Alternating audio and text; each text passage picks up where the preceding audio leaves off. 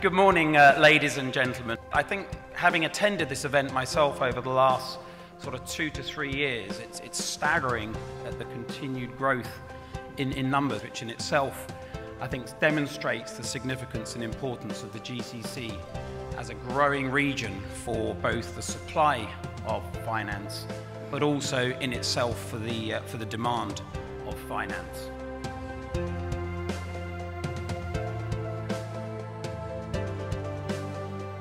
It's the flagship event for the fixed income market. It's progressed over the past several years into the, the most recognized conference in the Middle East. This meet brings in issuers, subscribers, intermediaries, everybody under the same umbrella.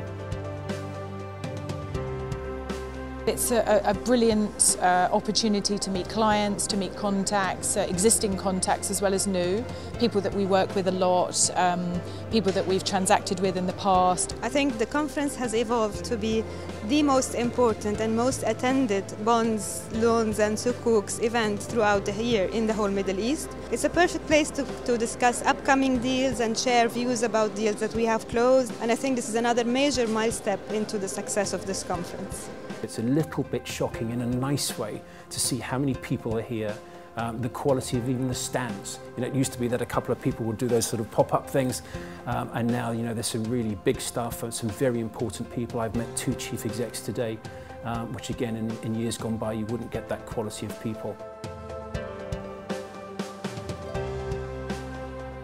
It was a great networking opportunity and it was very, very well organized in terms of uh, building new connections, getting in new connections and solidifying on the existing ones.